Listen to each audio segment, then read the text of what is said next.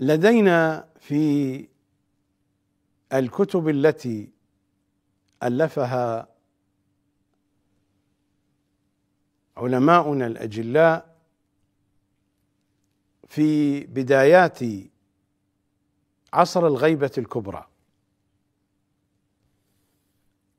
خصوصا ما جاء في كتاب كمال الدين وتمام النعمة للشيخ الصدوق وما جاء في كتاب الغيبه للشيخ الطوسي.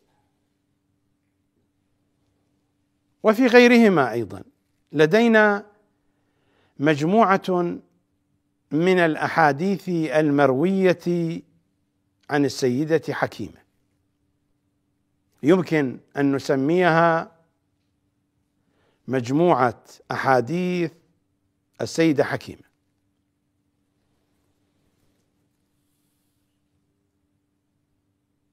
في الوثيقة الثانية التي أعرضها بين أيديكم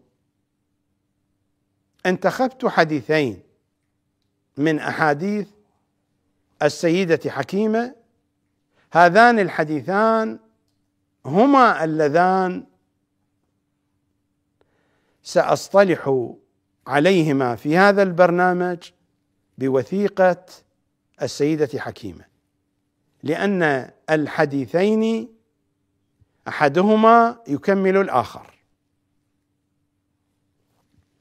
فسأعرض وسأقرأ بين أيديكم حديثين من الأحاديث التي رويت عن السيدة حكيمة. هذان الحديثان بحسب البرنامج بحسب هذه الحلقة بحسب الشاشة الثالثة أعني شاشة الأسرة. هذان الحديثان أصطلح عليهما وثيقة السيدة حكيمة. ومثلما كانت وثيقة السيدة نرجس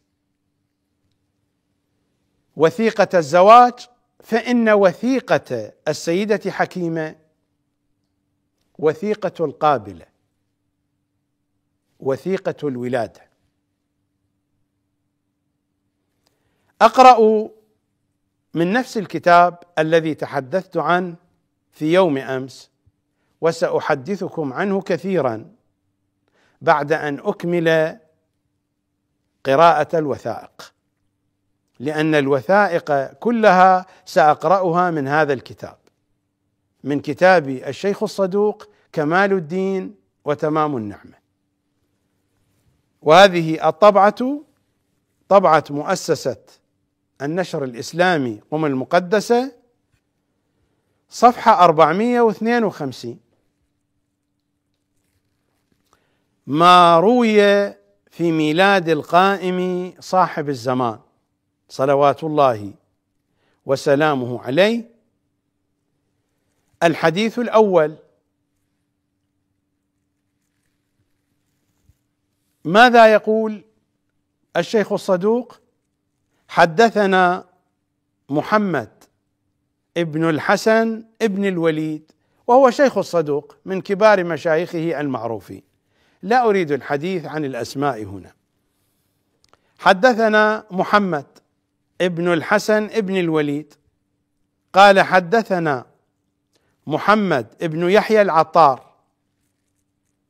قال حدثنا أبو عبد الله الحسين ابن رزق الله. قال حدثني موسى ابن محمد ابن القاسم ابن حمزة ابن موسى ابن جعفر ابن محمد ابن علي ابن الحسين بن علي بن أبي طالب عليهم السلام.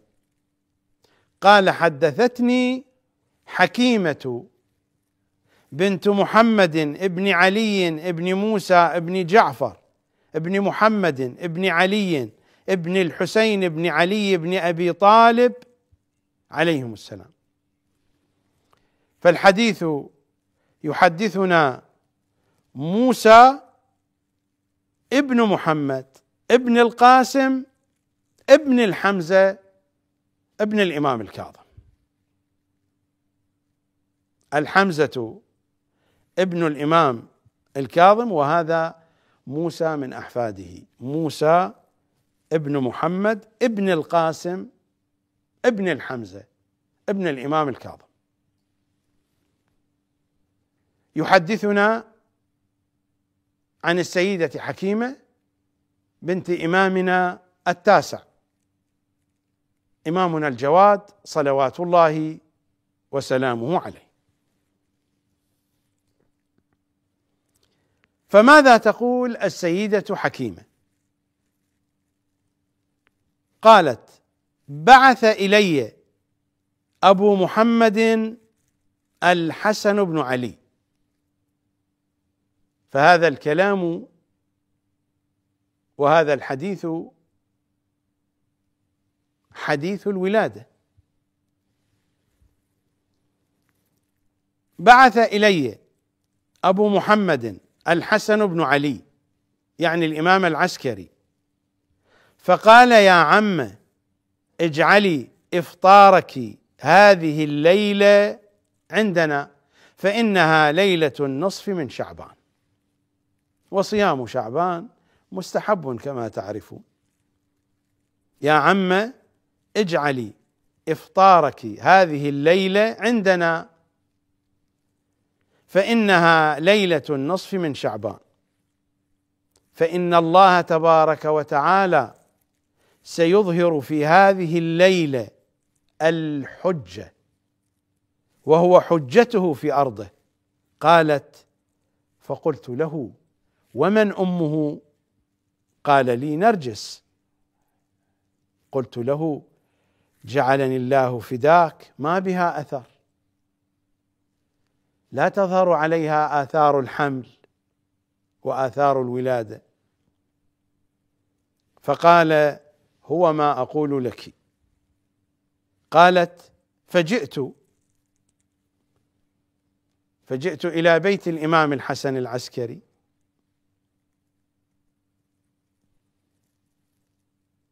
قالت فجئت. السيدة حكيمة تقول فجئت فلما سلمت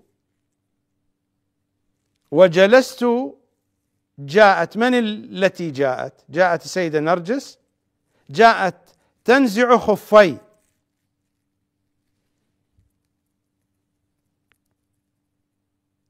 الخف هو الجورب هو نوع من أنواع الأحذية وقد يكون نوعا من أنواع الجوارب السميكة. وقالت لي يا سيدتي وسيدة أهلي كيف امسيت فقلت بل أنت سيدتي وسيدة أهلي. قالت فأنكرت قولي وقالت ما هذا يا عم قالت فقلت لها يا بني إن الله تعالى سيهب لك في ليلتك هذه غلاما سيدا في الدنيا والآخرة. قالت فخجلت واستحيت. هذه العبارة أستبعدها أن تقولها السيدة حكيمة ولكنني قرأتها كما جاءت.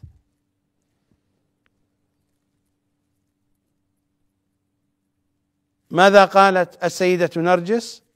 تخاطب السيدة حكيمة يا سيدتي وسيدة أهلي كيف أمسيت فقلت بل أنت سيدتي. هذا يمكن. أما وسيدة أهلي من المراد؟ بأهلي. أهل البيت لا يصح هذا الكلام. أو أن المراد أهلي يعني من هم في داري وبيتي. من الذين كانوا في بيت السيدة حكيمة. إذا أريد هذا المعنى يصح. ولكن إذا أريد أهل البيت فإن هذا الكلام لا يصح ولن يصدر من السيدة العالمة الحكيمة السيدة حكيمة. لربما هذا من الرواة. وقالت لي يا سيدتي وسيدة أهلي كيف أمسيت؟ فقلت بل أنت سيدتي وسيدة أهلي. قالت فأنكرت قولي وقالت ما هذا يا عمة؟ قالت فقلت لها يا بني إن الله تعالى سيهب لك في ليلتك هذه غلاما سيدا في الدنيا والآخرة. قالت فخجلت واستحيت. فلما أن فرغت من صلاة العشاء الآخرة باعتبار أن صلاة المغرب وصلاة العشاء يقال لها صلاة العشاءين صلاة المغرب أو صلاة العشاء الأولى. ولذا يقال أذان العشاءين صلاة العشاءين. العشاء الأول والعشاء الآخر. فلما أن فرغت تقول السيدة حكيمة من صلاة العشاء الآخرة أفطرت وأخذت مضجعي فرقدت.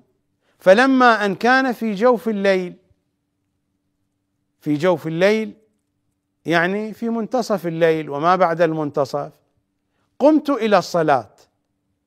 ففرغت من صلاتي وهي نائمة ليس بها حادث. ثم جلست معقبة. ثم اضطجعت. ثم انتبهت فزعة. وهي راقدة لا زالت. السيدة نرجس راقدة.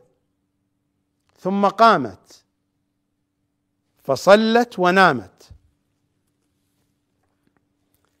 قالت حكيمة وخرجت أتفقد الفجر.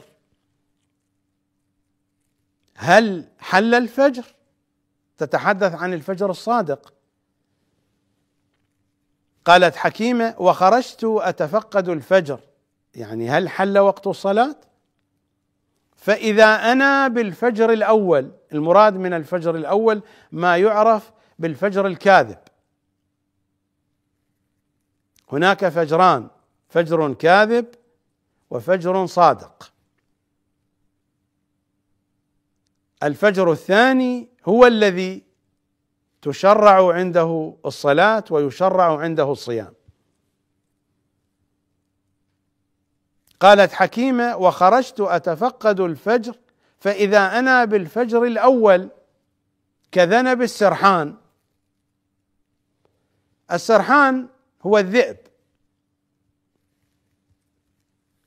بكسر السين كذنب السرحان وهو الذئب. وهذا ورد في أحاديث أهل البيت من أن الفجر الكاذب يكون في السماء كذنب السرحان. وأما الفجر الصادق فيكون كالقباطي. والقباطي ثياب مصنوعة من القطن المصري يؤتى بها من مصر.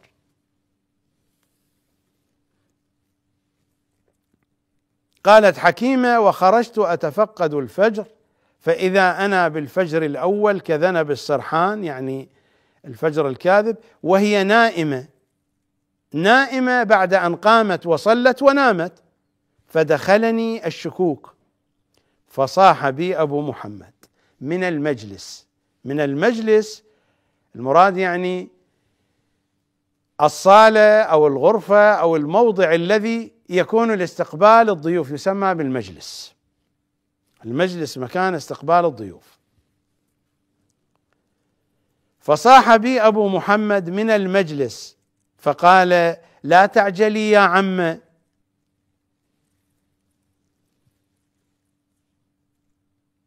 فهاك الأمر قد قرب. قالت فجلست وقرأت ألف لام ميم السجدة وياسين فبينما أنا كذلك إذ انتبهت. من التي انتبهت؟ السيده نرجس.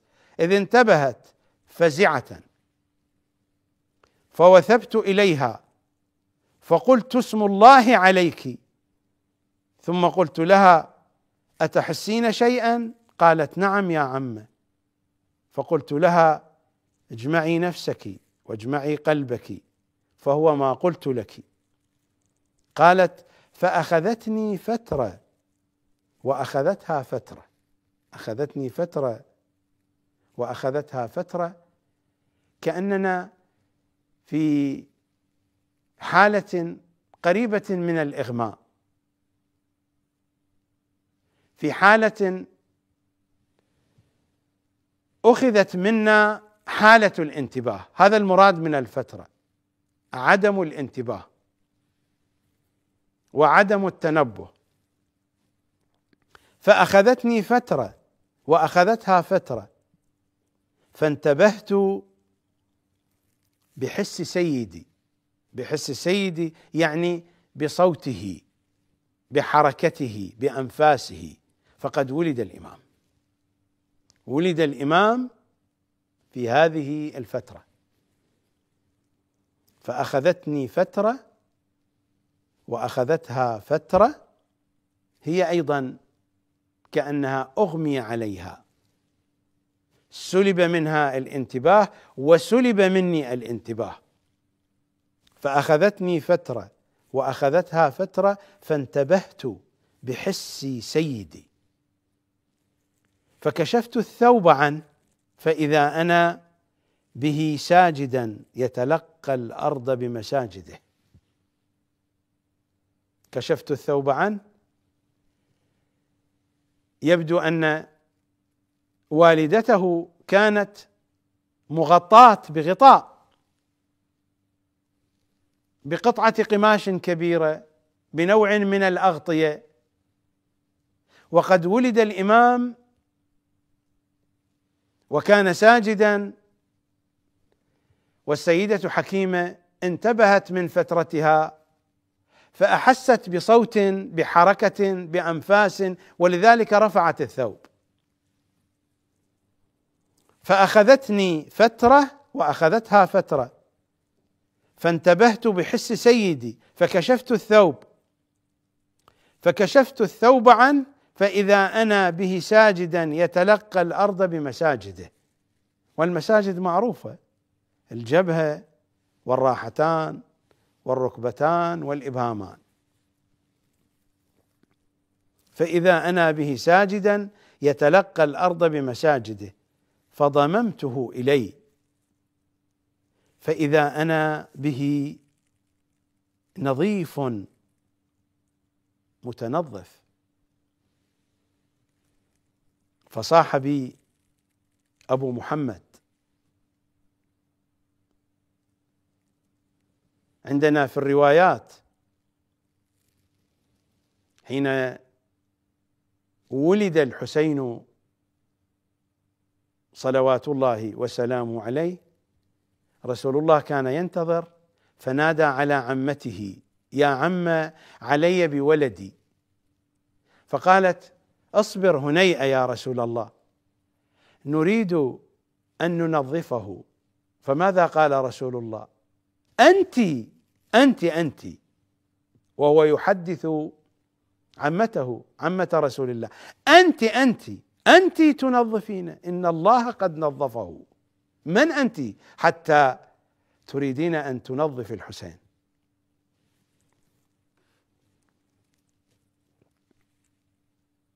وما كان لأولهم فهو لآخرهم وما كان لآخرهم فهو لأولهم. هذه عقيدتنا فيهم.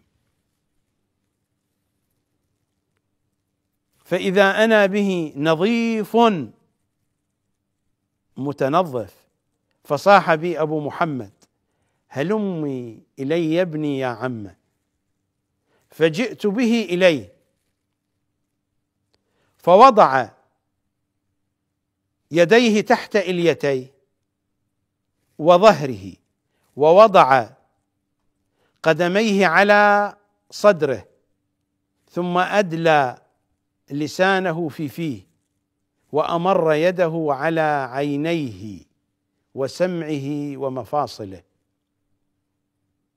ثم قال تكلم يا بني. فقال أشهد أن لا إله إلا الله. وحده لا شريك له. وأشهد أن محمدا رسول الله. ثم صلى على أمير المؤمنين. وعلى الأئمة إلى أن وقف على أبيه. ثم أحجم. تفاصيل الروايات قد يزيد فيها شيء أو ينقص وهذه طبيعة الرواة خصوصا في الروايات الطويلة التي تكثر فيها التفاصيل والجزئيات. هذه الرواية أقرأها عليكم من كتاب الغيبة للشيخ الطوسي منشورات شركة الأعلم للمطبوعات.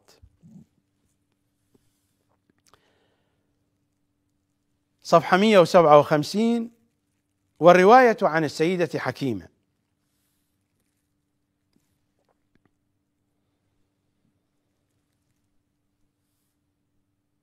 فماذا ردد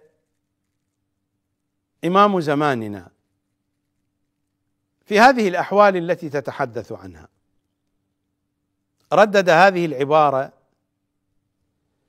أشهد أن لا إله إلا الله وأن محمدا رسول الله وأن عليا أمير المؤمنين حقا ثم لم يزل. يعد السادة الأوصياء إلى أن بلغ إلى نفسه ودعا لأوليائه بالفرج على يديه ثم احجم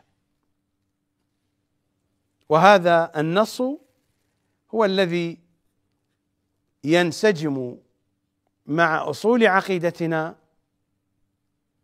ومع الذوق واللحن والفهم الذي يتجلى من كل معارف الكتاب والعترة. ثم قال تكلم يا بني. فقال أشهد أن لا إله إلا الله وحده لا شريك له. وأشهد أن محمدا رسول الله ثم صلى على أمير المؤمنين وعلى الأئمة إلى أن وقف على أبيه ثم أحجم. ثم قال أبو محمد يا عم اذهبي به إلى أمه ليسلم عليها وأتني به. فذهبت به فسلم عليها. لم يتكلم مع أمه إلى أن تكلم مع أبيه والإمام هو الذي أمر السيدة حكيمة أن تأخذه كي يسلم على أمه. ثم قال أبو محمد إمامنا العسكري يا عم اذهبي به إلى أمه. ليسلم عليها واتني به. فذهبت به. فسلم عليها. ورددته. فوضعته في المجلس في المكان الذي كان فيه إمامنا العسكري. ثم قال يا عم إذا كان يوم السابع فأتينا. قالت حكيمة فلما أصبحت فلما أصبحت يعني في نفس يوم الولادة فلما أصبحت جئت لأسلم على أبي محمد. وكشفت الستر لأتفقد سيدي فلم أره. فقلت جعلت فداك ما فعل سيدي. فقال يا عم استودعناه الذي استودعته أم موسى موسى. قالت حكيمة فلما كان في اليوم السابع جئت فسلمت وجلست. فقال هلمي إلي ابني؟ فجئت بسيدي وهو في الخرقة ففعل به. كفعلته الأولى ثم أدلى لسانه في فيه كأنه يغذيه لبنا أو عسلا. ثم قال تكلم يا بني فقال أشهد أن لا إله إلا الله وثنى بالصلاة على محمد وعلى أمير المؤمنين وعلى الأئمة الطاهرين صلوات الله عليهم أجمعين حتى وقف على أبيه. ثم تلا هذه الآية. بسم الله الرحمن الرحيم. ونريد أن نمن على الذين استضعفوا في الأرض ونجعلهم أئمة ونجعلهم الوارثين ونمكن لهم في الأرض ونري فرعون وهامان وجنودهما منهم ما كانوا يحذرون. قال موسى موسى من هو هذا؟ موسى الذي نقل لنا هذه الرواية. وهو من أحفاد إمامنا الكاظم. إنه موسى ابن محمد ابن القاسم ابن الحمزة ابن الإمام الكاظم. قال موسى فسألت عقبة الخادم عن هذه يعني عن هذه الوقائع فقالت فقالت يبدو أن عقبة هذه امرأة. قد يقول قائل وصفت بالخادم توصف المرأة بالخادم أيضا. فسألت عقبة الخادم عن هذه فقالت صدقت حكيمة. وربما عقبة هذا رجل فقال صدقت حكيمة. ولكن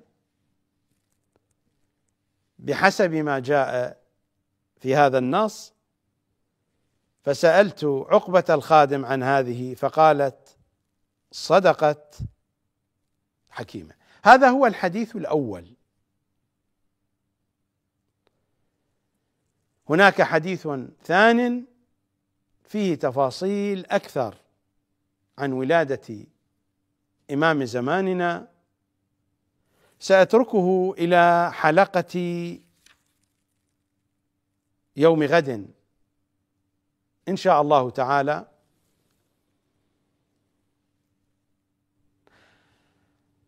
وعرضت الصورة الثانية وهي وثيقة السيدة حكيمة. وقلت من أنه في أيدينا هناك مجموعة من الأحاديث يمكن أن نسميها مجموعة أحاديث السيدة حكيمة بنت الإمام الجواد. صلوات الله عليه وعليها. اختطفت من هذه المجموعة حديثين. وأحد الحديثين حديث طويل. والأحاديث الطويلة يمكن أن تذكر بعض التفاصيل الجانبية بنحو ليس دقيقا. وربما يشتبه الراوي في تركيب العبارات والجمل فلا يصيب المعنى بشكل دقيق في المسائل الجانبية والا فجوهر الموضوع سيبقى واضحا وجليا. وإنني هنا لا أريد أن أثبت ولادة الإمام صلوات الله عليه من خلال نص واحد. طريقتي صارت معلومة لديكم منذ أن بدأت هذا الحديث. نمط الشاشات المتعددة وفي كل شاشة أعرض مجموعة من الصور. لن يكتمل الموضوع إلا باكتمال الشاشات. ولن تكتمل الشاشات إلا باكتمال صورها. ولن تكتمل الصور ما لم تبين التفاصيل الخاصة بكل شاشة. وبعد ذلك نستطيع جميعا أنا وأنتم أن نستخرج الصورة التي تفرض نفسها بنفسها. لست أنا الذي سأفرض الصورة النهائية عليكم. لست أنا الذي سألزمكم بشيء. أنا حالي كحالكم. هناك شاشات وهذه الشاشات فيها صور وهذه الصور صور حقيقية. ومن أوضح الأدلة على حقيقة هذه الصور أنها تتكامل فيما بينها. تكاملها دليل صحتها فلسنا بالحاجة أن نبحث حتى في مصادر هذه الصور ولسنا بالحاجة أن نبحث في أسانيدها. هناك صور وهذه الصور لست أنا الذي صنعتها. هناك حقائق دامغة وهذه الحقائق موجودة قبل قرون وقرون. لا أنا الذي صنعتها ولا أنتم الذين صنعتموها. غاية ما أقوم به أنني أجمع هذه الحقائق أرتب هذه الحقائق في شاشات كهذا الذي يرتب صوره في ألبوم. كل ما أقوم به أقوم بتنظيم هذه المعلومات أعرضها بين أيديكم وأنتم أيضا لا تقومون بشيء. راقبوا دققوا فكروا احترموا عقولكم. واجمعوا كل الأقوال البائسة والسخيفة لمراجعنا الكرام في تضعيف هذه الروايات وفي تضعيف هذه المعاني التي نقلتها هذه الحكايات الصادقة والحقيقية. اجمعوا أقوالهم والقوا بها في أي مكان تريدون أن تلقوا بها. انظروا إلى الحقائق. لا تقلدوا أحدا في أنكم تقبلوا حقيقة أو ترفضوا حقيقة. الحقائق أمام أعينكم. احترموا عقولكم. شغلوا عقولكم. دققوا النظر في هذه المعلومات. لا تعبأوا بي ولا بغيري. هكذا تكون الحقائق. وهكذا يكون الإنسان صادقا مع نفسه ومحترما لذاته ومحترما لعقله. فالإنسان الذي لا يحترم نفسه ولا يحترم ذاته ولا يحترم عقله على الأقل من وجهة نظري سيكون داخلا في حد البهيمية وهذا المنطق ما هو بمنطقي إذا أردت أن أثبته بالآيات والروايات والأدعية الشريفة أثبته لكم. لكن الحديث ليس عن هذا الموضوع. من دون أن أذهب بكم في هذا الاتجاه أو في ذاك الاتجاه أعود إلى الصورة الثانية التي أريد أن أكمل عرضها بين أيديكم من صور هذه الشاشة. نحن الآن في إطار الشاشة الثالثة التي هي شاشة الأسرة. عرضت الصورة الأولى وثيقة السيدة نرجس إنها وثيقة الزواج. ثم بدأت بعرض الصورة الثانية وثيقة السيدة حكيمة. إنها وثيقة القابلة إنها وثيقة الولادة. وقلت هذه الوثيقة بحسب البرنامج تشتمل على حديثين. قرأت على مسامعكم الحديث الأول في الحلقة المتقدمة وسأقرأ عليكم الآن الحديث الثاني. وإذا ما اكتمل الحديث الثاني ستكتمل الصورة الثانية. من صور هذه الشاشة والتي هي وثيقة السيدة حكيمة أعني وثيقة القابلة. القابلة يعني المولدة. يعني الشاهدة على عملية الولادة وكيف خرج المولود من أمه. فهذه وثيقة القابلة وثيقة الولادة إنها وثيقة السيدة حكيمة. وهي تشتمل على حديثين مر الحديث الأول وهذا هو الحديث الثاني وأنا أقرأ عليكم. من كتاب كمال الدين وتمام النعمة لشيخنا الصدوق المتوفى سنة 381 للهجرة.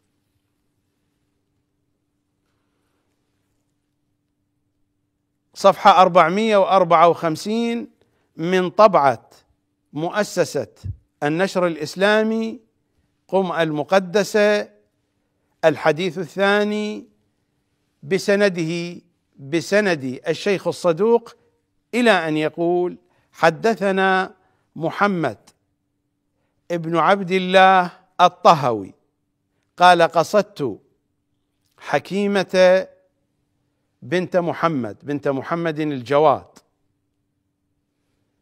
إمامنا التاسع صلوات الله عليه. قال قصدت حكيمة بنت محمد بعد مضي أبو محمد. بعد مضي أبو محمد ويمكن أن نقول بعد مضي أبي محمد على سبيل الإضافة باعتبار هذا من الأسماء الستة ولكن يمكن أن يكون بعد مضي أبي محمد يمكن أن يكون على سبيل الحكاية. أبو محمد هنا مبنية على الحكاية وهي مضافة لما قبلها. أو يمكن أن نضمن المصدر معنى الفعل ويكون له فاعل وهذا يمكن على رأي بعض المدارس النحوية. فمضي هنا مصدر فيمكن أن يضمن معنى الفعل أنا هنا لا أريد أن أدخل معكم في مسألة إعرابية. فماذا قال محمد ابن عبد الله الطهوي قال قصدت حكيمة بنت محمد كما قلت إنه الجواد. امامنا التاسع بعد مضي أبو محمد أسألها عن الحجة. عن الحجة بعد إمامنا الحسن العسكري. وما قد اختلف فيه الناس من الحيرة التي هم فيها. الشيعة وقعوا في حيرة. ويبدو أن الشيعة دائما دائما يعني بتعبير عراقي دائما متحضرين للحيرة جاهزين على أهبة الاستعداد أي قضية تأتي وحاروا فيها.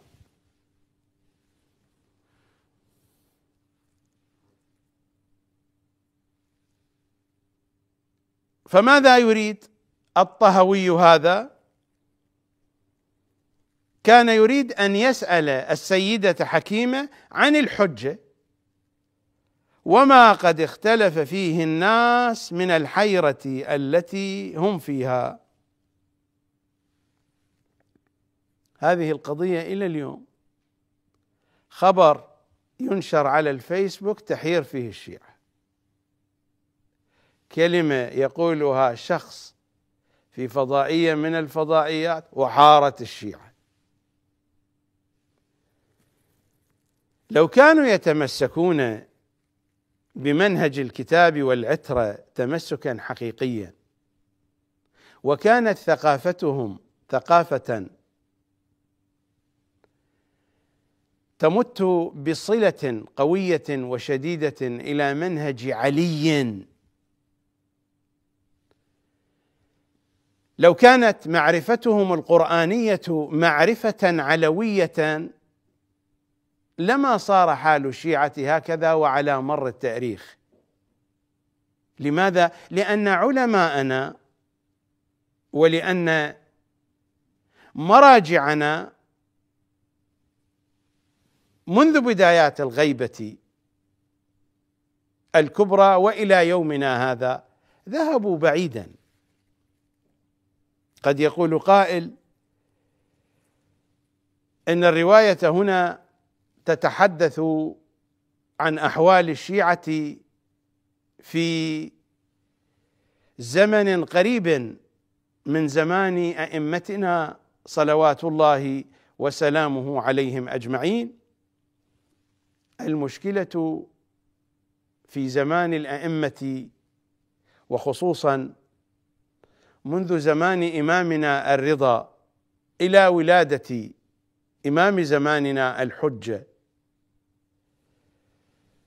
وغيبته. المشكلة أيضا كانت في الوسط الشيعي في علماء الشيعة في مراجع الشيعة. مشكلة الواقفة مشكلة عسيرة جدا. من الذي قام بها؟ كبار مراجع الشيعة وهم من أصحاب إمامنا موسى بن جعفر. وكذا الحال بعد شهادة إمامنا الحسن العسكري حيث كانت هناك فتنة كبيرة إنها فتنة جعفر الكذاب وفتنة شخصيات أخرى. وهناك من اتبعه هؤلاء الذين اتبعوا هذه الأسماء الضالة لو كانوا قد تمسكوا بمنهج الكتاب والعترة بشكل واضح لما وقعوا في هذه الطامة. والمشكلة هي المشكلة إنها مشكلة الأمة منذ يوم السقيفة. منذ اليوم الذي استشهد فيه رسول الله صلى الله عليه وآله مقتولا بالسم. لا أريد أن أتشعب في هذا الموضوع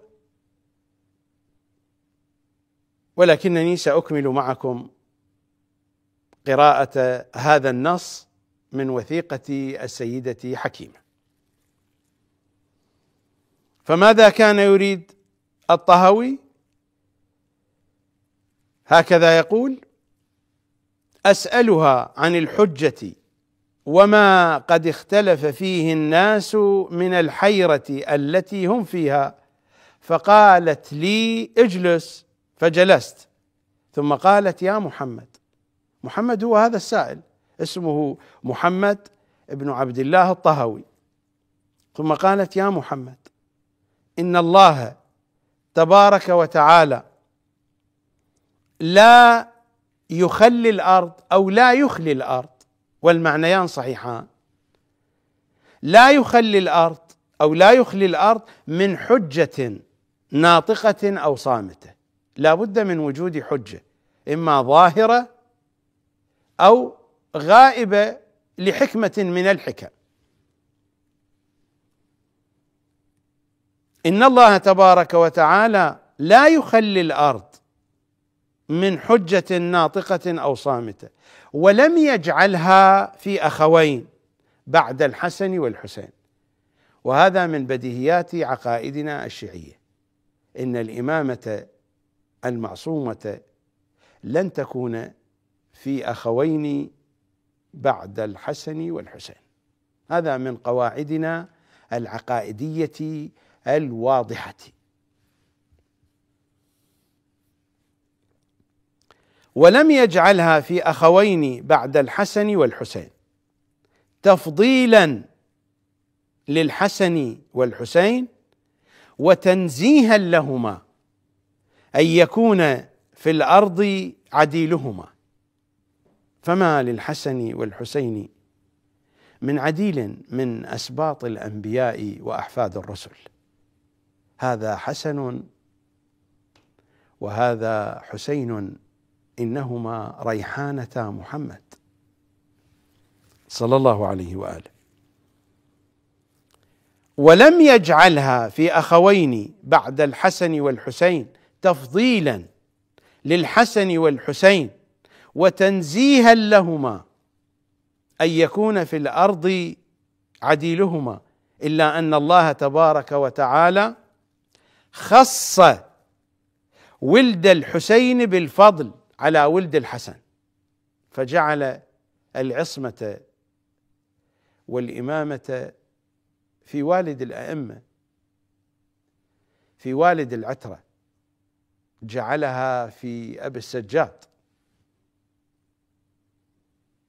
إلا أن الله تبارك وتعالى خص ولد الحسين بالفضل على ولد الحسن كما خص. ولد هارون على ولد موسى وإن كان موسى حجة على هارون. والفضل لولده لمن؟ لولد هارون إلى يوم القيامة. ولا بد للأمة من حيرة يرتاب فيها المبطلون ويخلص فيها المحقون. يخلص فيها يخلصون يستخرجون يستنتجون من بين مجاميع أهل الباطل. فهم الخلاصة. ولا بد للأمة من حيرة. لا بد للأمة بسبب موقفها. الأمة هي التي قادت نفسها إلى مهاوي الحيرة. وإلا فالأمر واضح. رسول الله قال للأمة في بيعة الغدير هذا علي أولى منكم بأنفسكم وهذا علي من نصره فهو ناصر لله. ومن خذله فهو خاذل لله. هذا علي طاعته طاعة الله ومعصيته معصية الله. هذا علي هو الذي يفسر لكم القرآن. لا تأخذ التفسير إلا من علي. هذا علي هو مصدر الفهم. فعلي هو الذي يفهمكم بعدي. هذا علي يفهمكم بعدي. هكذا قال رسول الله صلى الله عليه وآله. والأمر من بعدي في علي وعند علي. ومن أراد أن يكون على ديني فليكن مع علي. ومن بعد علي يأتي الأئمة الأطهار إلى أن تمت البيعة في يوم الغدير ببيعة لكل أئمتنا إلى أن وصلت إلى إمام زماننا وكل ذلك كان قد جرى في يوم الغدير. فلو أن الأمة سارت في ذلك الوادي الذي أمر رسول الله عمار بن ياسر أن يسير فيه. فماذا قال رسول الله لعمار بن ياسر؟ قال يا عمار إذا رأيت الناس سلكوا أي واد فاسلك في الوادي الذي يسلك فيه علي. لو أن الأمة سلكت في هذا الوادي الذي أمر سيد الكائنات محمد صلى الله عليه وآله عمار أن يسلك فيه لو أن الأمة سلكت في هذا الوادي لو أنها تمسكت بالعروة الوثقى العروة الوثقى العروة الوثقى ولاية علي لو أن الأمة تمسكت بها لما قادت نفسها حتى وقعت في مهاوي الحيرة وفي مزالق الضلال وذهبت بعيدا ذهبت بعيدا تدخل في فتنة وتخرج منها إلى فتنة أعظم. ولذا تقول السيدة حكيمة ولا بد للأمة من حيرة. هذا جزاؤها. هي التي فعلت بنفسها ما فعلت. ولا بد للأمة من حيرة يرتاب فيها المبطلون ويخلص فيها المحقون كي لا يكون للخلق على الله حجة. لا بد أن تتبين الأمور ولا بد أن يتوضح الطريقان طريق الحق وطريق الباطل.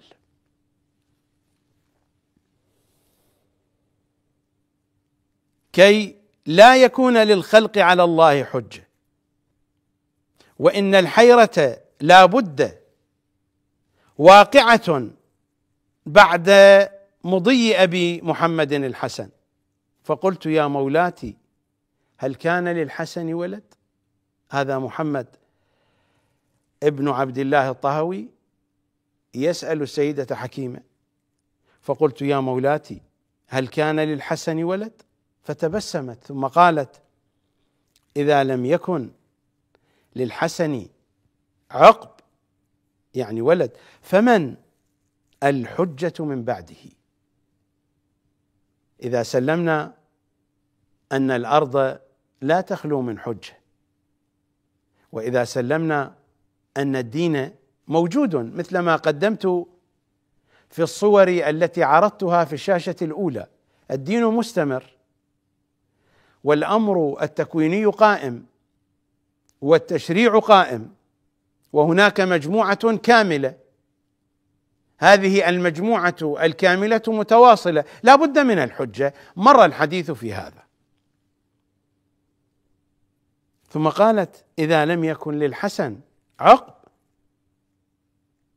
فمن الحجة من بعده؟ وقد أخبرتك أنه لا إمامة لأخوين بعد الحسن والحسين.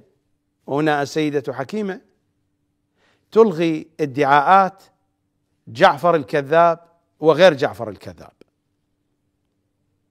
وقد أخبرتك أنه لا إمامة لأخوين بعد الحسن والحسين. لأن جعفر الكذاب كان أخا للإمام الحسن العسكري. فقلت هذا الطهوي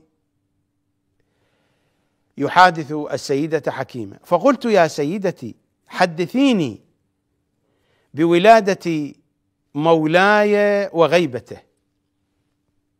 قالت نعم كانت لي جارية. يقال لها نرجس. فزارني ابن أخي. من هو؟ إمامنا العسكري. فزارني ابن أخي. فأقبل يحدق النظر إليها. فقلت له يا سيدي لعلك هويتها. فأرسلها إليك كي يتزوجها. هذه التفاصيل ربما لا تأتي منسجمة بشكل دقيق مع ما جاء مذكورا في الوثيقة الأولى. الوثيقة الأولى هي الأصل فيما يرتبط بالسيدة نرجس. لكنني سأقرأ عليكم النص كاملا ومثل ما قلت الأحاديث الطويلة هناك جزئيات الراوي ربما لا ينقلها بدقة.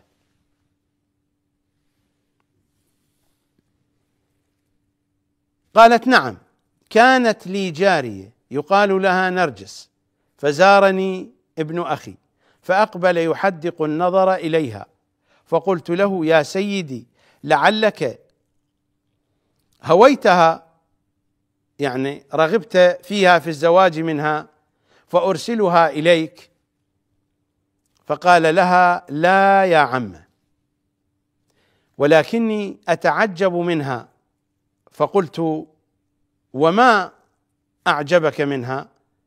فقال سيخرج منها ولد كريم على الله عز وجل الذي يملأ الله به الأرض عدلا وقسطا. كما ملئت جورا وظلما. فقلت فأرسلها إليك يا سيدي. كي يتزوجها فقال استأذني في ذلك أبي. مع أن التفاصيل ليست دقيقة مثل ما مرت في وثيقة الزواج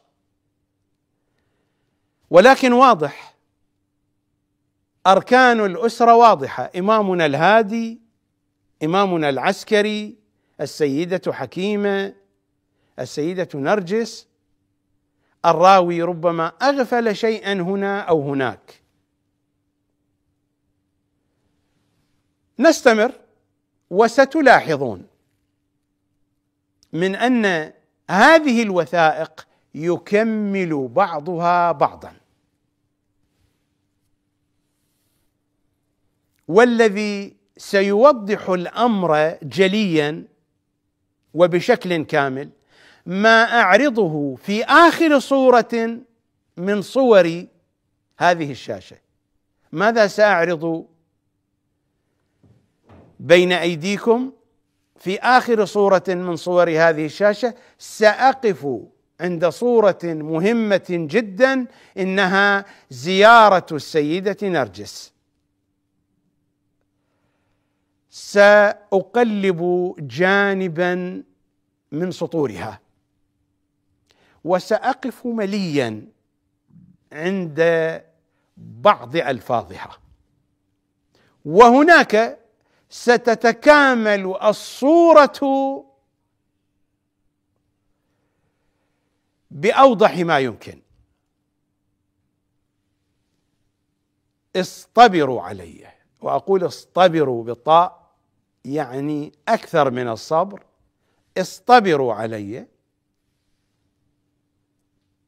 إلى نهاية صور هذه الشاشة ستتجلى لكم.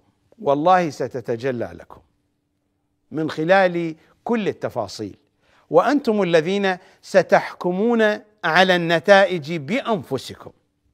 لأنني لا أريد أن ألقنكم ما أعتقده.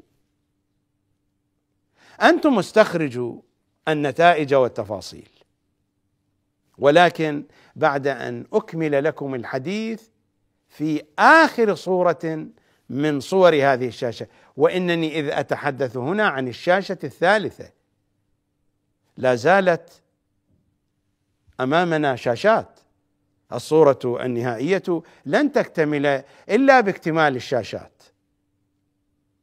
فهناك شاشات أولية وهناك شاشات ثانوية وهناك شاشات ملحقة ملاحق.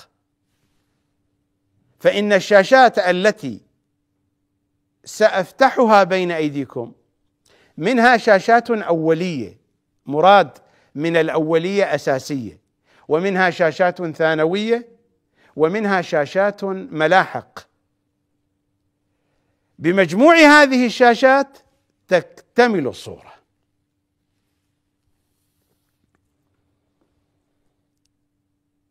فقال استأذني في ذلك أبي. قالت فلبست ثيابي وأتيت منزل أبي الحسن. إمامنا الهادي صلوات الله عليه. فسلمت وجلست فبدأني. وقال يا حكيمة من دون أن تبدأ بالحديث صلوات الله عليها. فقال يا حكيمة ابعثي نرجس إلى ابن أبي محمد. قالت فلبست ثيابي وأتيت منزل أبي الحسن الإمام الهادي صلوات الله عليه فسلمت وجلست فبدأني وقال يا حكيمة ابعثي نرجس إلى ابن أبي محمد. قالت فقلت يا سيدي على هذا قصدتك على أن أستأذنك في ذلك. فقال لي يا مباركة. مر علينا في وثيقة السيدة نرجس من أن السيدة نرجس أساسا الذي بعث بها إلى بيت السيدة حكيمة هو إمامنا الهادي. فهنا إمامنا الهادي يطلب من السيدة حكيمة أن تأتي بنرجس فقد حان الوقت. حان الوقت لزواج إمامنا أبي محمد من زوجته الأميرة ملكة.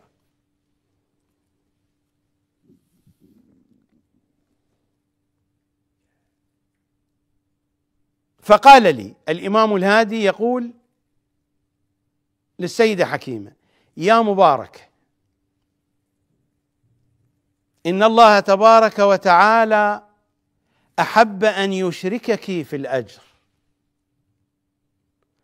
مر علينا كان يخاطبها يا بنت رسول الله في سياق مهم في سياق مهم وهو يحدثها عن أم القائم. هذا الاسم الذي يحبه أهل البيت القائم. وهذا الاسم الذي يحبه إمام زماننا من أحب الأسماء إليه القائم. صحيح نحن نسلم عليه حين ظهوره الشريف السلام عليك يا بقية الله.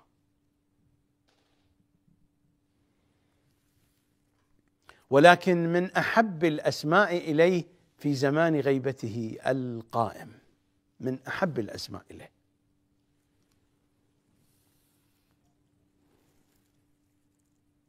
فقال لي يا مبارك إن الله تبارك وتعالى أحب أن يشركك في الأجر ويجعل لك في الخير نصيبا. قالت حكيمة فلم ألبث أن رجعت إلى منزلي. وزينتها ووهبتها لأبي محمد وجمعت بينه وبينها في منزلي فأقام عندي اياما. ثم مضى إلى والده ووجهت بها معه. قالت حكيمة فمضى أبو الحسن. مضى يعني رحل عن الدنيا. استشهد صلوات الله وسلامه عليه استشهد مسموما. متى استشهد إمامنا صلوات الله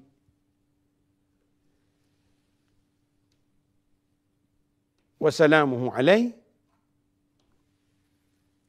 بعد زواج إمامنا الحسن العسكري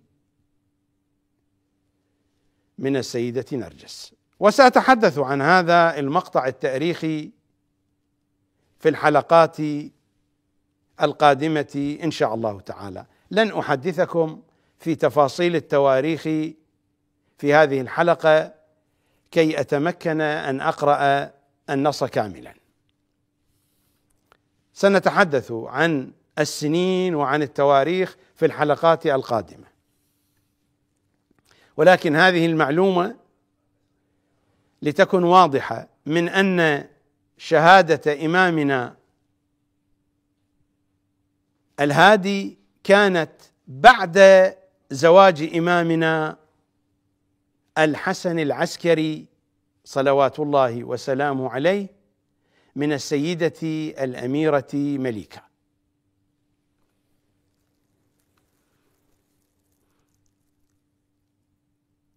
قالت حكيمة فمضى أبو الحسن مضى شهيدا رحل عن هذه الدنيا. فمضى أبو الحسن وجلس أبو محمد إمامنا الحسن العسكري مكان والده.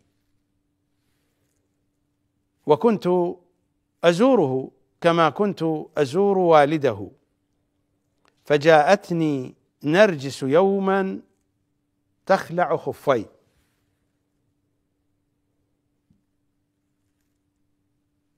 فقالت يا مولاتي ناوليني خفك. فقلت بل أنت سيدتي ومولاتي.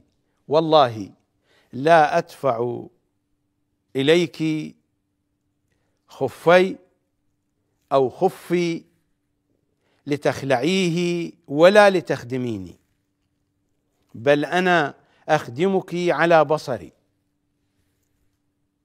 على بصري على عيني كما نقول. فسمع أبو محمد إمامنا العسكري ذلك فقال جزاك الله. يا عمة خيرا.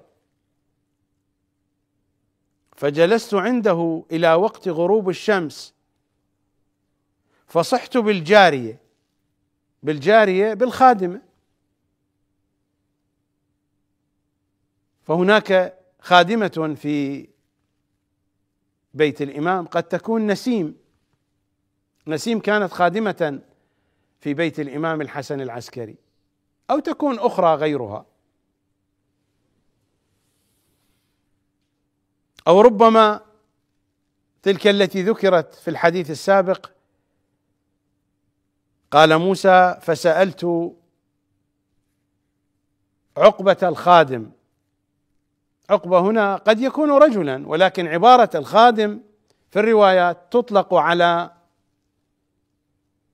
الخادم المذكر وعلى الخادمة المؤنثة. على أي حال لسنا بصدد الدخول في هذه التفاصيل. فجلست عنده عند الإمام الحسن العسكري إلى وقت غروب الشمس فصحت بالجارية بخادمة من الخادمات وقلت ناوليني ثيابي لأنصرف. تريد أن تذهب إلى بيتها؟ فقال عليه السلام إمامنا العسكري لا يا عمتا بيتي الليلة عندنا فإنه سيولد الليلة المولود الكريم على الله عز وجل الذي يحيي الله عز وجل به الأرض بعد موتها. فقلت ممن يا سيدي؟ ولست أرى بنرجس شيئا. باعتبار الإمام ما كانت له زوجة إلا السيدة نرجس. فقلت ممن؟ ربما تصورت مثلا من جارية أخرى من الجواري. فقلت ممن يا سيدي؟ ولست أرى بنرجس شيئا من أثر الحبل. الحبل يعني الحمل. فقال من نرجس لا من غيرها. قالت فوثبت إليها فقلبتها ظهرا لبطن فلم أر بها أثر حبل. فعدت إليه فأخبرته بما فعلت. فتبسم ثم قال لي إذا كان وقت الفجر يظهر لك بها الحبل. لأن مثلها مثل أم موسى. يتحدث عن أم موسى النبي. وهكذا أخبرتنا الأحاديث من أن أم موسى لم يظهر عليها أثر الحبل. لأن مثلها مثل أم موسى. ولذا في زيارتها في زيارة السيدة نرجس نخاطبها من أنها شبيهة أم موسى وأنها ابنة حواري عيسى. إننا نتوجه إلى أم القائم. يا شبيهة أم موسى ويا ابنة حواري عيسى والشرف الباذخ حين نقول يا أم القائم. هذا الاسم من أحب الأسماء إلى قلبها ومن أحب الأسماء إلى قلب إمام زماننا.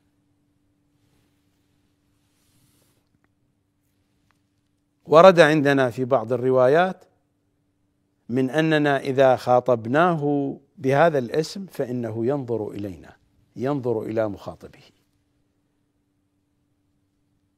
هناك وسائل نستجلب بها نظر الإمام فحين نخاطبه القائم القائم إنه ينظر إلينا.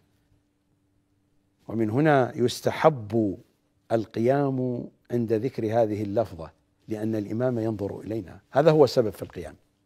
السبب في القيام هو هذا. فمن شأن العبد إذا نظر إليه مولاه أن يقوم إجلالا واحتراما. فإن الإمام إذا ما ذكر بهذا الاسم فإنه ينظر إلينا. تأدبا قطعا إذا كنا نستطيع. ربما في بعض الحالات لا نستطيع القيام لأي سبب من الأسباب. إذا كنا قادرين على القيام وذكرنا الإمام بهذا الاسم نحن أنا ذكرت الإمام بهذا الاسم وكنت قادرا على القيام. في موقف في محل في مقام مناسب أن أقوم يستحب لي أن أقوم احتراما وإجلالا لمولاي الذي ينظر إلي ومن شأن العبد إذا ما نظر إليه مولاه أن يقوم إجلالا احتراما وأن يقوم استعدادا للخدمة. فإن المولى إذا نظر إلى عبده فلربما كان يريد منه حاجة. أنا لست بصدد الحديث عن هذا الموضوع. إذا سنحت فرصة سنتحدث عن معنى القائم. ولكنني أتوجه إلى أم القائم وأمد لا أقول يدي أمد عقلي وقلبي متوسلا أن توجهني التوجيه الصحيح كي يكون فهمي سليما وصحيحا وأنا أتحدث عنها. وأنا أتحدث عن شؤونها.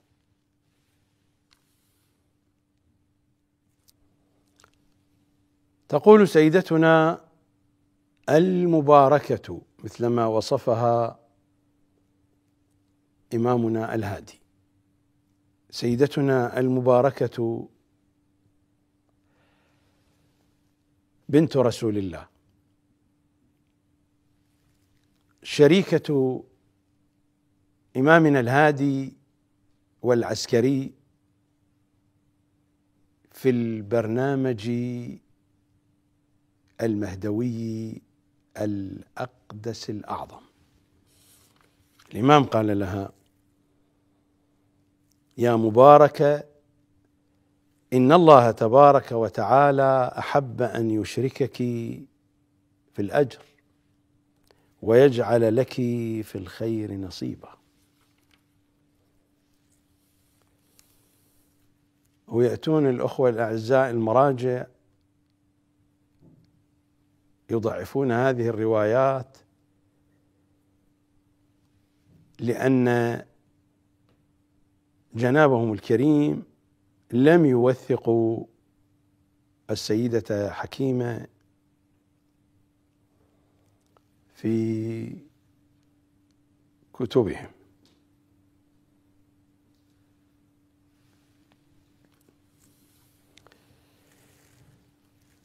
أنا لا أقول شيئا أقول نقاط إلى آخره.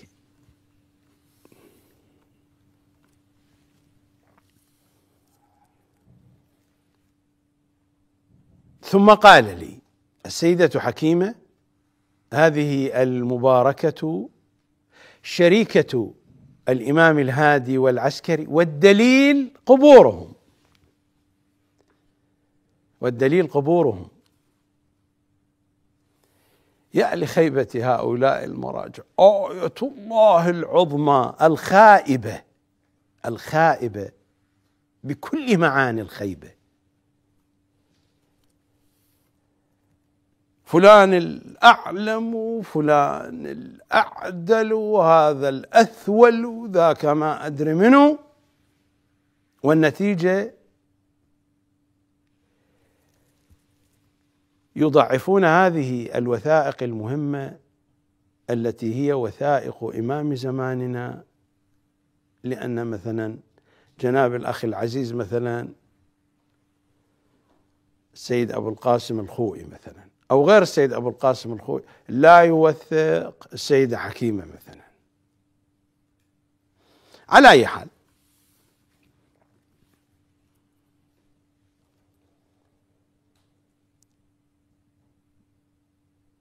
ثم قال لي الإمام العسكري يقول للسيدة حكيمة إذا كان وقت الفجر يظهر لك بها الحبل. آثار الحبل ستظهر على السيدة نرجس عند الفجر. لأن مثلها مثل أم موسى. لم يظهر بها الحبل وإلا لشق بطنها فإن فرعون كان هكذا يعمل. لم يظهر بها الحبل ولم يعلم بها أحد إلى وقت ولادتها حتى بعد أن ولدت.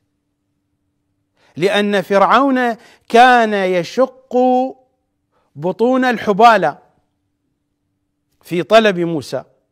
وهذا وهذا المولود نظير موسى وهذا الأمر مثل ذاك الأمر. المراد نظير شبيه وهذا التشبيه للتقريب. هذا كتشبيه علي بهارون.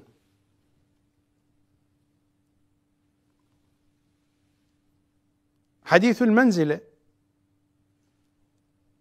يا علي أنت مني بمنزلة هارون من موسى. فأين موسى من محمد؟ وأين هارون من علي؟ لا وجه للمقايسة. وإنما هذا للمماثلة والمشابهة والمقاربة. هذه مقاربة. لأن مثلها مثل أم موسى لم يظهر بها الحبل ولم يعلم بها أحد إلى وقت ولادتها لأن فرعون كان يشق بطون الحبالة في طلب موسى وهذا نظير موسى. قالت حكيمة فعدت إليها فأخبرتها بما قال بما قال إمامنا العسكري وسألتها عن حالها فقالت يا مولاتي ما أرى بي شيئا من هذا ما أرى بي شيئا من الحبل لا أشعر بشيء. قالت حكيمة فلم أزل فلم أزل أرقبها إلى وقت طلوع الفجر وهي نائمة بين يدي لا تقلب جنبا إلى جنب. لأن المرأة المقاربة أو المقربة التي اقتربت ولادتها لن تكون مرتاحة في نومها تتقلب. فلم أزل أرقبها إلى وقت طلوع الفجر وهي نائمة بين يدي. نائمة بين يدي يعني أمامي في نفس المكان. لا تقلب جنبا إلى جنب حتى إذا كان آخر الليل. حتى إذا كان آخر الليل وقت طلوع الفجر وثبت فزعه. من السيدة نرجس؟ وثبت فزعة فضممتها إلى صدري وسميت عليها فصاح إلي أبو محمد وقال اقرأي عليها إنا أنزلناه في ليلة القدر. هذه سورة القائم وليلة القدر ليلة القائم وسورة القدر هي سورة القائم. وقال اقرأي عليها إنا أنزلناه في ليلة القدر فأقبلت أقرأ عليها وقلت لها ما حالك؟ قالت ظهر بي الأمر الذي أخبرك به مولاي. فأقبلت سيدة حكيمة تقول فأقبلت أقرأ عليها كما أمرني. فأقبلت سيدة حكيمة تقول أقرأ عليها. ماذا تقرأ؟ تقرأ عليها سورة القدر. كما أمرني إمامنا الحسن العسكري فأجابني الجنين من بطنها يقرأ مثل ما أقرأ وسلم علي. قالت حكيمة ففزعت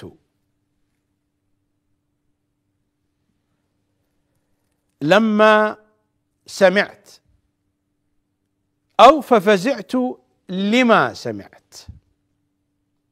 لما سمعت يعني حين سمعت. أو ففزعت للذي سمعت.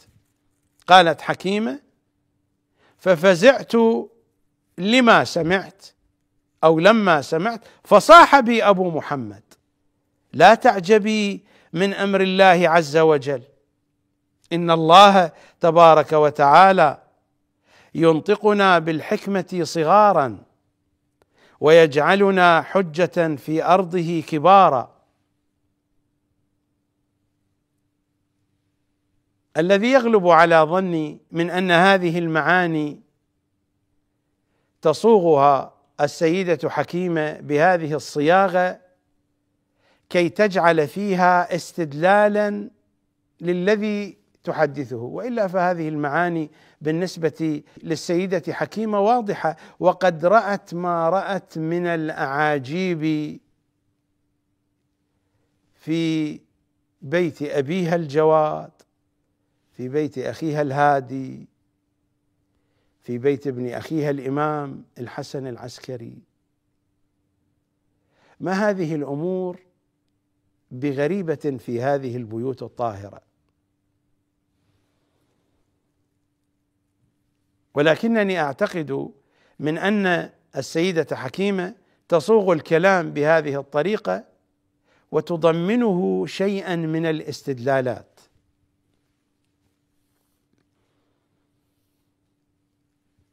لا يعني أن الإمام العسكريه لم يقل هذا الكلام. أنا لا أقصد هذا.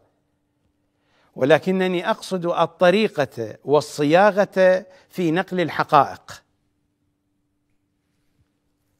لأن صياغة الكلام بهذا الأسلوب يجعل المتلقي مستعدا لقبول هذه المعاني باعتبار أن السيدة حكيمة تجعل من نفسها في نفس الموضع وفي نفس الحال الذي هو عليه المتلقي. الذي سيبدي استغرابا وتعجبا. على أي حال أنا لا أريد أن أذهب كثيرا. هذه مجرد احتمالات فإنني لا أبني عليها بناء قطعيا. مجرد احتمالات تكون على حاشية الحديث لتوضيح بعض المعاني أو لدفع لبس قد يحدث في ذهن أحد من الذين يتابعون هذا البرنامج. قالت حكيمة ففزعت لما سمعت. لأن الجنين قد قرأ معها سورة القدر وسلم عليها. فصاح بي أبو محمد لا تعجبي من أمر الله عز وجل إن الله تبارك وتعالى ينطقنا بالحكمة صغارا ويجعلنا حجة في أرضه كبارا. تتذكرون مر علينا كلام الشيخ المفيد في كتابه تصحيح الاعتقاد. مر علينا في الحلقات المتقدمة من حلقات هذا البرنامج حين حدثتكم عن كتاب سليم بن قيس وذكرت لكم تشكيك وتضعيف الشيخ المفيد لهذا الكتاب الشريف.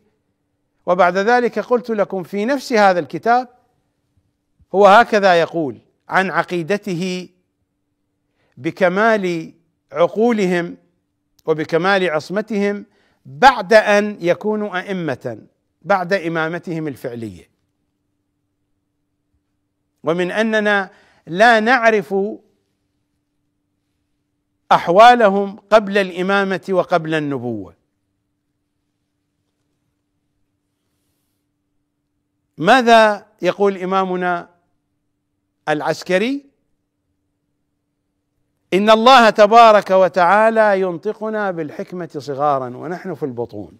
الامام يتحدث عن ولده وهو في بطن أمه فإن السيده حكيمة أبدت تعجبها من حديثه وهو في بطن أمه بحسب سياق الحديث. ينطقنا بالحكمة صغارا والحكمة تمام العلم الحكمة تمام العصمة. الإمام يتحدث عن حكمة الله التي تظهر عليهم. فحكمة الله ما هي ناقصة التي تظهر فيهم وعليهم. الحكمة هي النبوة وهي الإمامة وهي العصمة وهي الطهارة وهي العلم بكله. إن الله تبارك وتعالى ينطقنا بالحكمة صغارا ويجعلنا حجة في أرضه كبارا.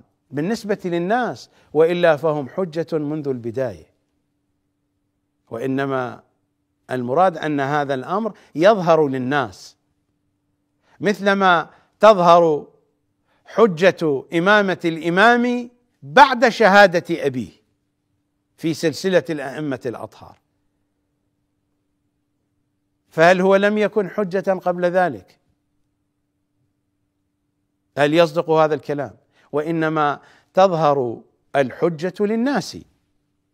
هناك حجة ظاهرة وهناك حجة لا أقول باطنة وهناك حجة ظاهرة لكنها خافية على الناس.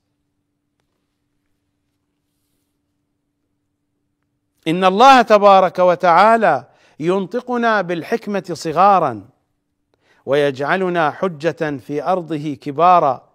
فلم يستتم الكلام حتى غيبت عني نرجس.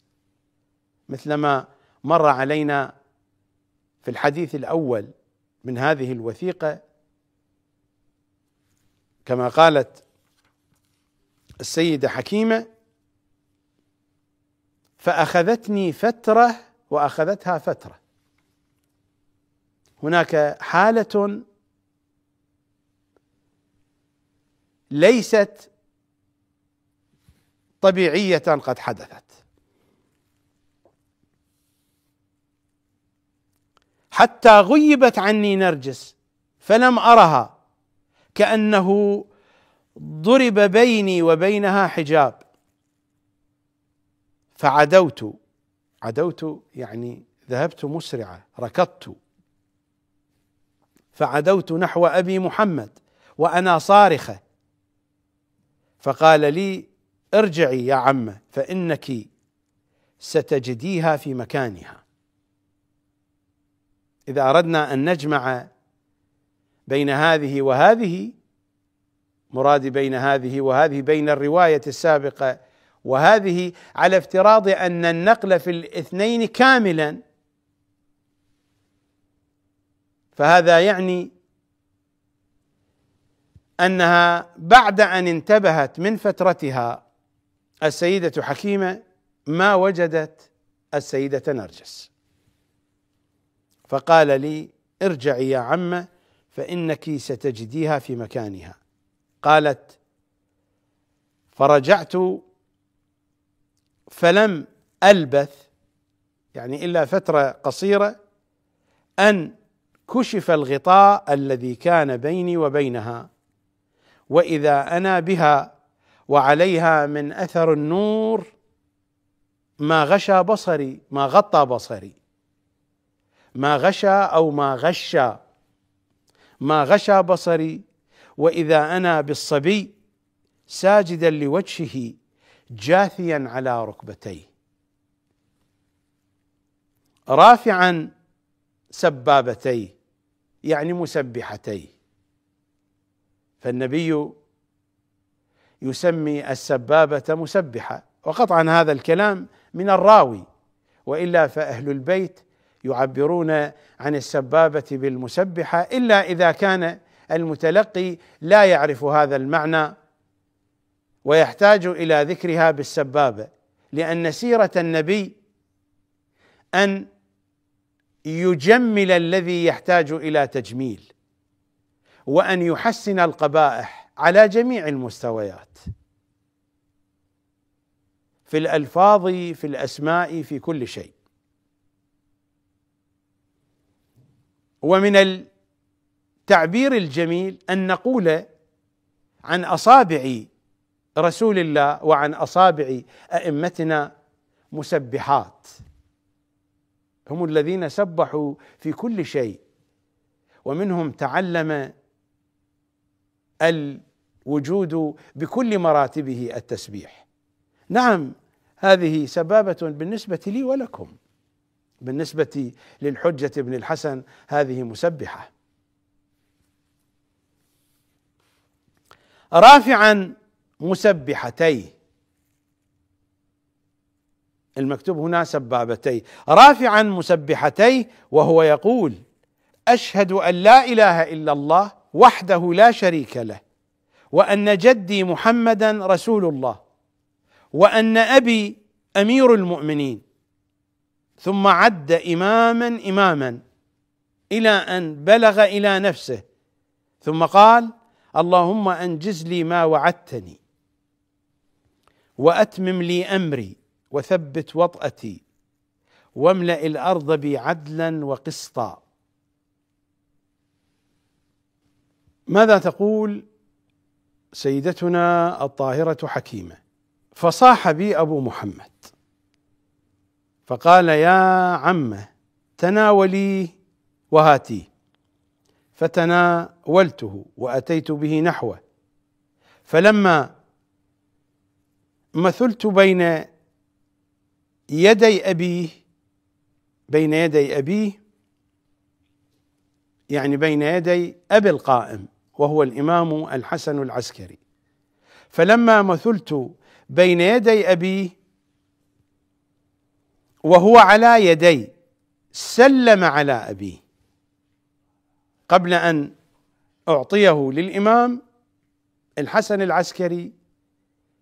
وكانت السيدة حكيمة تحمله تحمل القائمه بعد ولادته سلم على والده. فلما مثلت بين يدي أبيه وهو على يدي سلم على أبيه فتناوله الحسن. فتناوله الحسن مني والطير ترفرف على رأسه. الطير ترفرف على رأسه الملائكة التي تظهر بصور شتى وفي بيوت آل محمد كانت الملائكة تظهر كثيرا بصور الطيور. ولهذا حديث مفصل ليس المقام منعقدا لبيان مثل هذه المطالب ولكن هذا الأمر تكرر ذكره في رواياتهم وأحاديثهم.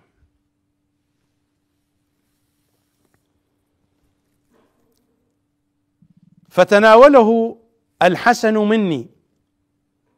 والطير ترفرف على راسه على رأس من؟ على رأس القائم. الملائكة في حال فرح وغبطه لقد ولد القائم. ملائكة السماء كانت في انتظار.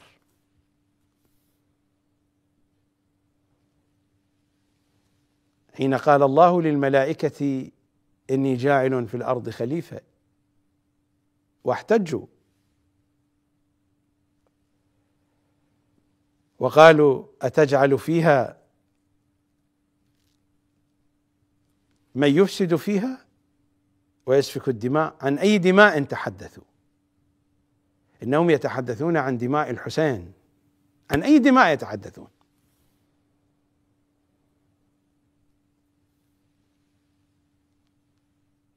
وحينما عرفوا الحقيقة وحين عرض آدم الأسماء والأسماء ليست ألفاظ. وحين عرفوا أن القائم هو هذا المعد للخلافة الحقيقية وهو الثائر لهذا الدم الذي سيسفك. والبرنامج واسع مفصل حينئذ كانوا في انتظاره. قالوا سبحانك لا علم لنا إلا ما علمتنا.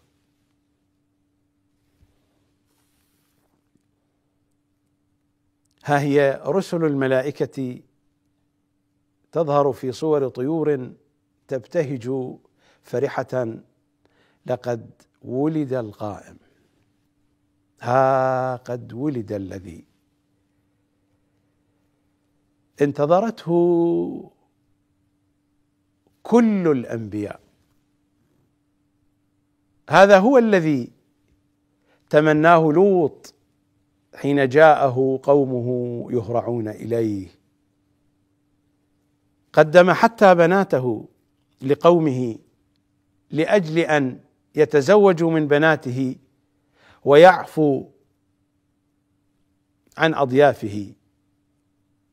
ولكنهم كانوا يريدون الفساد يريدون الاعتداء على أضيافه. لقد تمناه لو أن لي بكم قوة. كان يتمنى هذا القائم الموعود لو أن لي بكم قوة. كان يتمنى أن يأوي إلى ركن شديد. إلى أنصاره إلى أنصار هذا القائم. ها هي الملائكة تحف بإمامنا. فتناوله الحسن مني والطير ترفرف على رأسه وناوله لسانه فشرب منه. وضع لسانه في فيه. ثم قال امضي به إلى أمه. لترضعه ورديه إلي. قالت فتناولته أمه فأرضعته. فرددته إلى أبي محمد والطير ترفرف على رأسه فصاح بطير منها. الإمام العسكري صاح بطير من هذه الطيور التي ترفرف على رأس القائم فصاح بطير منها فقال له احمله واحفظه ورده إلينا في كل أربعين يوما. فتناوله الطير وطار به في جو السماء. وأتبعه سائر الطير. فسمعت أبا محمد يقول أستودعك الله الذي أودعته أم موسى موسى. فبكت نرجس فقال لها اسكتي فإن الرضاع فقال لها اسكتي فإن الرضاع أو الرضاعه محرم عليه إلا من ثديك وسيعاد إليك كما رد موسى إلى أمه. وذلك قول الله عز وجل فرددناه إلى أمه. كي تقر عينها ولا تحزن قالت حكيمة فقلت وما هذا الطير؟ سؤالها ليس عن كل الطيور عن الطير الذي أمره الإمام. أن يأخذ القائم الموعود. أمره الإمام العسكري. قالت حكيمة فقلت وما هذا الطير؟ قال هذا روح القدس الموكل بالأئمة يوفقهم ويسددهم ويربيهم بالعلم. قطعا هذه المعاني تبين بحسب قانون المداراة. وروح القدس إذا أردنا أن نعود إلى كلماتهم الشريفة روح القدس مظهر من مظاهر الحقيقة الفاطمية. هي أمهم. هي حجة عليهم. هي أمهم أم الأئمة. والأم تعني الأصل التي قال عنها محمد فاطمة روحي التي بين جنبي. هذا مظهر من الحقيقة الفاطمية التي هي روح الحقيقة المحمدية. قالت حكيمة فقلت وما هذا الطير؟ قال هذا روح القدس الموكل بالأئمة يوفقهم ويسددهم ويربيهم بالعلم. وليس المراد من روح القدس جبرائيل أو ملك من الملائكة فإن الملائكة يسددون بولائهم لإمام زماننا. الأحاديث لا بد أن تفهم في ضمن كل المنظومة المعرفية. لا أن نقف على كلمة في حديث واحد فذلك من الحماقة ومن الخرق ومن السفاهة. أن نقف عند كلمة أو عند جملة واحدة في حديث واحد. لا بد أن تفهم النصوص وأن تفهم المضامين في السياقات الكاملة لكل المنظومة المعرفية التي تتجلى في نصوص الكتاب وأحاديث العترة الطاهرة. قالت حكيمة فلما كان بعد أربعين يوما رد الغلام ووجه إلي ابن أخي فدعاني فدخلت عليه فإذا أنا بالصبي متحرك يمشي بين يديه فقلت يا سيدي هذا ابن سنتين. فتبسم ثم قال إن أولاد الأنبياء والأوصياء إذا كانوا أئمة إذا كانوا أئمة ينشؤون بخلاف ما ينشأ غيرهم. لا يقاس بآل محمد أحد. ينشأون بخلاف ما ينشأ غيرهم وإن الصبي منا إذا كان أتى عليه شهر كان كمن أتى على سنة. وإن الصبي منا ليتكلم في بطن أمه ويقرأ القرآن ويعبد ربه عز وجل وعند الرضاع تطيعه الملائكة. أين كلام الشيخ المفيد؟ والهراء الذي ذكره في كتابه تصحيح الاعتقاد من هذه العقائد الجلية الواضحة. وعند الرضاع تطيعه الملائكة وتنزل عليه صباحا ومساء. وفوج الملائكة كما في الروايات لا ينقطع عنهم ابدا.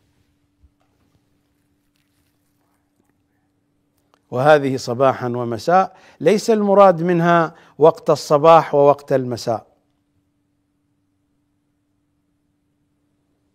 وإنما المراد الاتصال والتواصل دائما.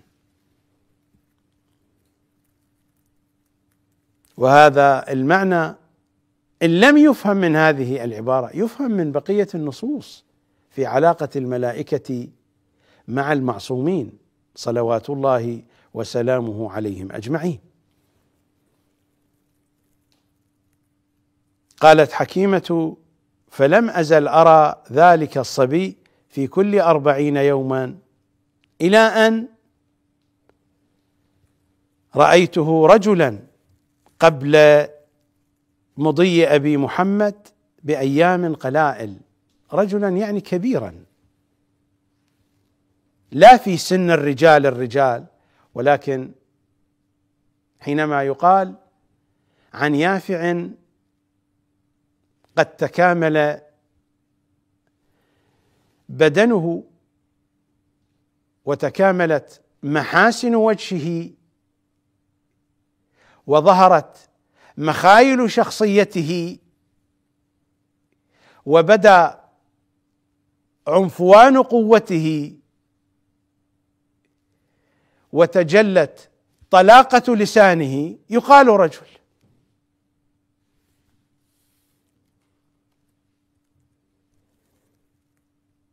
قالت حكيمة فلم أزل أرى ذلك الصبي في كل أربعين يوما إلى أن رأيته رجلا قبل مضي أبي محمد. مضي أبي محمد يعني استشهاده صلوات الله عليه بأيام قلائل فلم أعرفه فقلت لابن أخي من هذا الذي تأمرني أن أجلس بين يديه تقول للإمام الحسن العسكري. فقال لي هذا ابن نرجس وهذا خليفتي من بعدي وعن قليل تفقدوني فاسمعي له وأطيعي. قالت حكيمة فمضى أبو محمد. ذهب شهيدا وشاهدا ومستشهدا صلوات الله عليه. قالت حكيمة فمضى أبو محمد بعد ذلك بأيام قلائل وافترق الناس كما ترى وهي تخاطب الراوي الذي روى لنا محمد بن عبد الله الطهوي ووالله حكيمة الآن تقول هذا الذي يكشف لنا عن علو منزلة السيدة حكيمة. ووالله إني لأراه صباحا ومساء. هذا في زمان الغيبة. السيدة حكيمة كانت سفيرا ونائبا خاصا وعاما ومطلقا. عن الإمام الحجة قبل أن تبدأ مراسم السفارة للنواب الأربعة. السفير الأول لم يعرف من أنه سفير خاص ونائب خاص للإمام إلا بعد مدة من الزمن. فحينما استشهد إمامنا الحسن العسكري وبدأت الأيام الأولى لغيبة إمام زماننا وكانت تدريجية لأن الإمام في الأيام الأولى بعد شهادة أبيه التقى بكثيرين ولم تصل إلينا كل النصوص. ولكننا نستطيع أن نستكشف ذلك. وكان متواجدا في بيت أبيه. ومرات تصل الأخبار إلى السلطة العباسية ويداهمون البيت. إذا ما وصلنا للحديث عن التفاصيل التاريخية إن كان في حلقات هذا البرنامج أو في برنامج زهرائيون إن وفقت لتقديمه في خدمتكم سأتناول هذه المطالب التاريخية وبالتفصيل. في الفترة المباشرة لشهادة الإمام الحسن العسكري الذي كان ينوب عن الإمام الحجة السيدة حكيمة مثلما نابت السيدة زينب عن إمامنا السجاد. ومثلما نابت السيدة المعصومة عن أبيها موسى بن جعفر. هناك من الروايات والأخبار ما يشير إلى ذلك.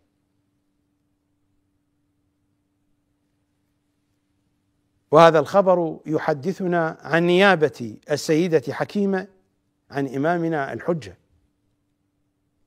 ووالله إني لأراه صباحا ومساء وإنه لينبئني عما تسألون عنه. فأخبركم ووالله إني لأريد أن أسأله عن الشيء فيبدأني به. ووالله إني لأريد أن أسأله عن الشيء. فيبدأني به وإنه ليرد علي الأمر فيخرج إلي منه. جوابه من ساعته من غير مسألتي. وقد أخبرني البارحة بمجيئك إلي وأمرني أن أخبرك بالحق. مرة أخرى أقرأ كلامها لأن كلامها هذا يتحدث عن حقيقة مهمة جدا يغفل عنها الشيعة عموما. لا أدري إن كان بعض الشيعة يعرف هذا الأمر أو لا. قطعا المراجع والعلماء لا يعرفون ذلك ولا يعتقدون به لأنهم أساسا لا يوثقون السيدة حكيمة ولا يعتمدون رواياتها هذه. إن لم يكونوا جميعا الأعم الأغلب من مراجع المدرسة الأصولية. مراجع الموتى والأحياء على حد سواء. ماذا تقول السيدة حكيمة؟ ووالله إني لأراه صباحا ومساء وإنه لينبئني عما تسألون عنه فأخبركم. ووالله إني لأريد أن أسأله عن الشيء فيبدأني ويمكن أن تقرأ فيبدأني. فيبدأني به وإنه ليرد علي الأمر. فيخرج إلي منه جوابه من ساعته من غير مسالتي وقد أخبرني البارحة وقد أخبرني البارحة بمجيئك إلي وأمرني أن أخبرك بالحق. قال محمد ابن عبد الله هو هذا الذي جاء سائلا الطهوي فوالله لقد أخبرتني حكيمة بأشياء لم يطلع عليها أحد إلا الله عز وجل من شؤونه الخاصة. فعلمت أن ذلك صدق وعدل من الله عز وجل لأن الله عز وجل قد أطلعه أطلع الإمام الحجة أطلع القائمة من آل محمد قد أطلعه على ما لم يطلع عليه أحدا من خلقه. وهذا خرج من طريق السيدة حكيمة. صلوات الله وسلامه على القائم وأبيه العسكري وجده الهادي وعلى عمته السيدة حكيمة وعلى أمه الأميرة الطاهرة السيدة نرجس.